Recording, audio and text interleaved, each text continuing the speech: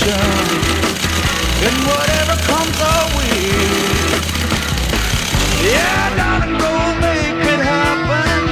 Take the world in a loving place Buy all of your guns and pumps and Explode into space. Ah, I like smoking lightning Heavy metal thunder. Racing with the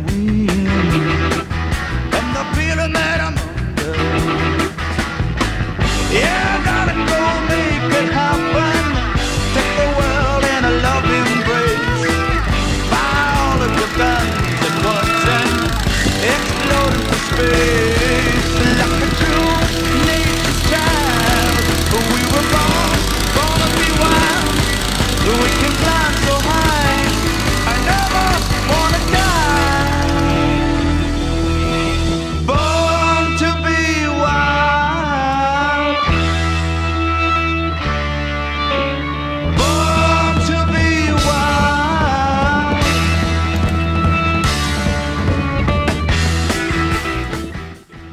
British government had been much too optimistic about the BSA airborne folding paratrooper bike. Over 70,000 were made, but not many saw active service. Paratroopers refused to ride them, and thousands were stockpiled after the war, most to be sold off as army surplus. After World War II, Great Britain had to repay its American war loans. Foreign exchange was vital to the country, so all new vehicles were exported. Until 1954, cycle attachment engines such as the Cyclemaster were the only form of motorised transportation available to post war British commuters. They were sold as engine units and people fitted them to their own bicycles. This was the heyday of the cycle motor. Hundreds of people all over Britain gathered for rallies and runs with their Cyclemasters. It became the latest British craze. Even a Cyclemaster magazine was produced.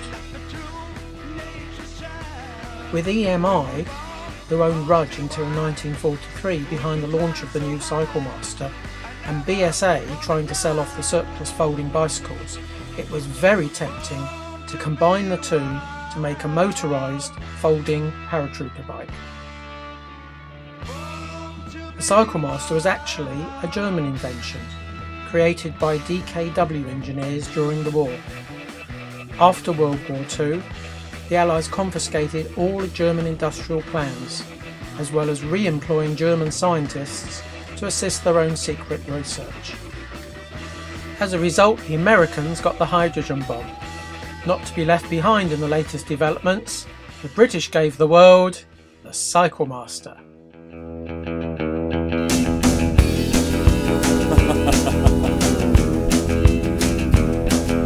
You get your motor running, head out on a highway, looking for adventure and whatever comes in our way.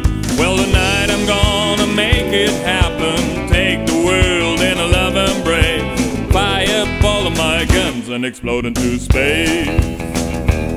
Well, like a true nature's child, we were born, born to be wild. We can fly so high,